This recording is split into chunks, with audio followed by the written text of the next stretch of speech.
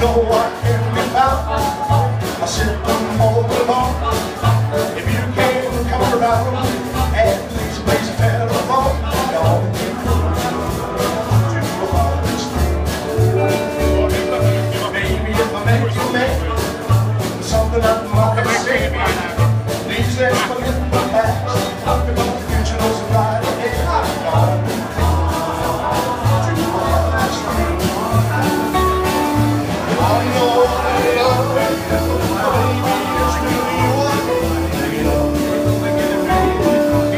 come on over here and love me.